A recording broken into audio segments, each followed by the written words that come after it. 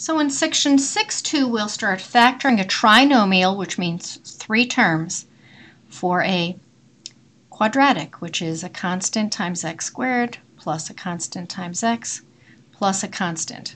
So we're actually talking about factoring quadratics. Quadratics. A quadratic would be, an example of a quadratic would be 5x squared plus 2x minus 7. So the degree of the polynomial is 2, and in this particular case there are three terms. So how do I factor, here's a quadratic, x squared plus 9x plus 2. So what I want you to notice is that for what we're looking at right now, the coefficient in front of the x squared is a 1. The coefficient in front of the x squared is a 1. So what we're going to do is look at this last term, that's c. Here a is 1, b is 9, and c is 20. On the side, we're going to list all the factors of positive 20 all the numbers multiply together that give us 20 and we're going to stop when those two factors add up to 9. So 1 times 20, those don't add up to 9.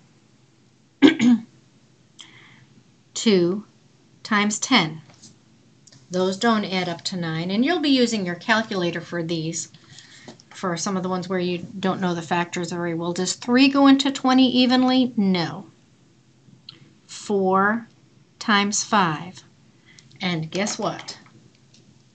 4 times 5 equals 20. But 4 plus 5 equals 9. So what that means is that the two numbers I want to use are 4 and 5. What am I going to do with that 4 and 5?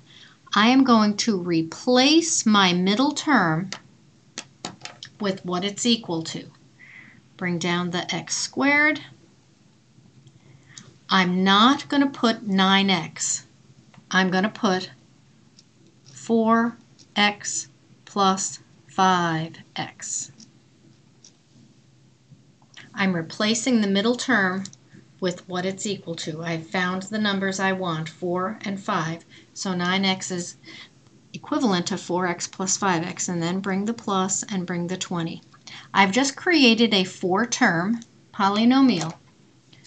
What do you do with four-term polynomials? You break them into two groups. Of x squared plus 4x, I'm going to factor out an x. Put in my parens. And when I factor out an x from x squared, I get x, and when I factor out the x from 4x, I get plus 4. So I'm really looking for an x plus 4 over here. If I don't get an x plus 4, I've done something wrong. So now I'm going to these two terms, and what's the GCF of 5x and 20? What number goes evenly into 5 x and 20, and that would be a positive 5. When I factor out a 5, I'm left with x plus 4. Do a little check. x times x is x squared. x times 4 is 4x. 5 times x is 5x. 5 times 4 is 20. And I'm very happy because I have my x plus 4 as common to both terms. So I'm going to pull out the x plus 4, which means my other factor is x plus 5. And you definitely want to check these all the time by doing FOIL. What does x plus 4 times x plus 5 equal? First, x times x is x squared outside is positive 5x. Inside is positive 4x. And last, 4 times 5 is 20. And combine your middle terms. 5x and 4x is 9x. Is that what I started with? Yes, it is. So I've just checked my answer. So you're going to try practice one.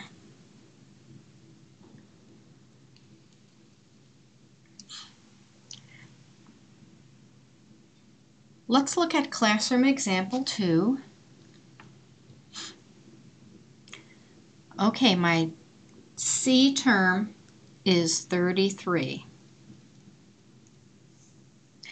I want numbers when they're multiplied together give me a positive 33, but when they are added together they give me a negative 14.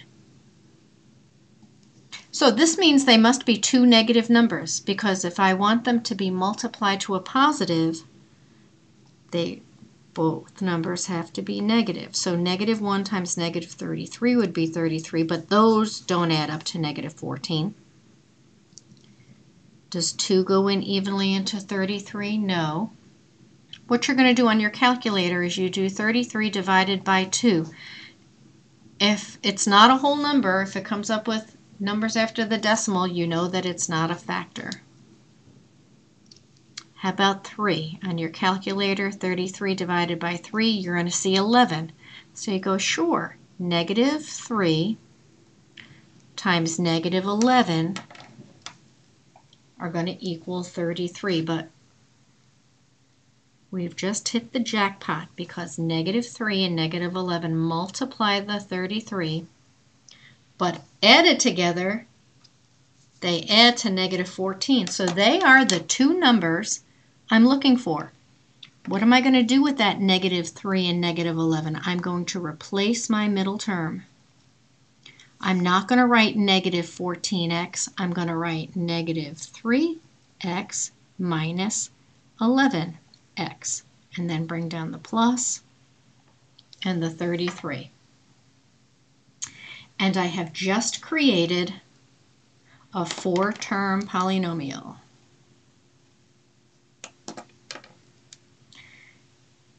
Factoring out the GCF of x squared minus 3x, I'd factor out an x, and I'm going to get x minus 3.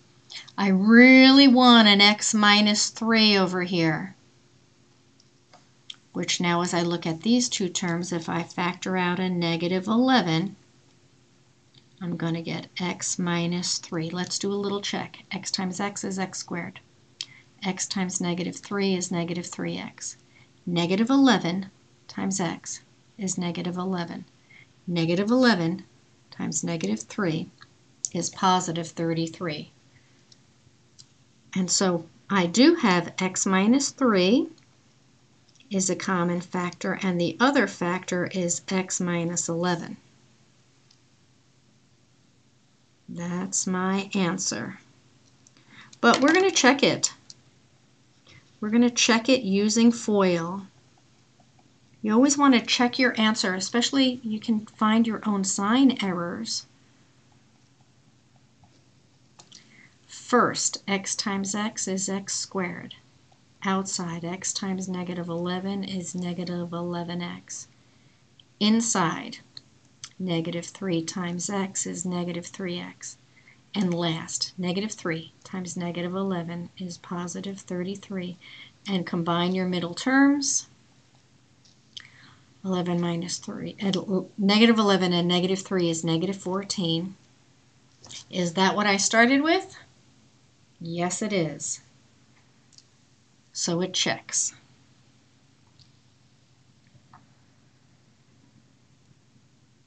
So you go ahead and try practice 2.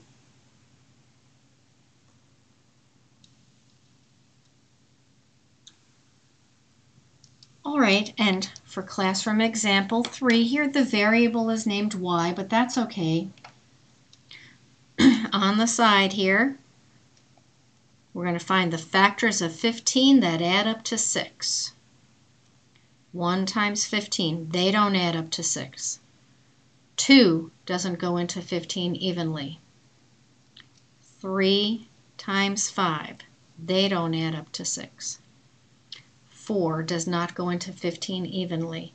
And I already have the 5, so I can stop finding my factors of 15. there are no two numbers that multiply together that give me 15 that when they're added together give me 6. So what that means is this polynomial cannot be factored. This polynomial is prime.